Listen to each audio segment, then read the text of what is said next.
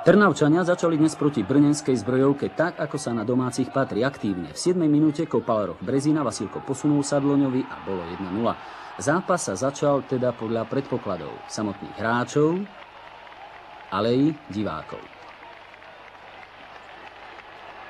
Zbrojovku to však nedeprimovalo a peknými kombináciami, ktorým však chýbal dôraznejší záver, sa dostávala k brankárovi Gábriškovi. Jeho náprotivok však mal oveľa viac práce, najmä so šancou neúnavného Klejcha v 18. minúte. A potom po kombinácii v 35.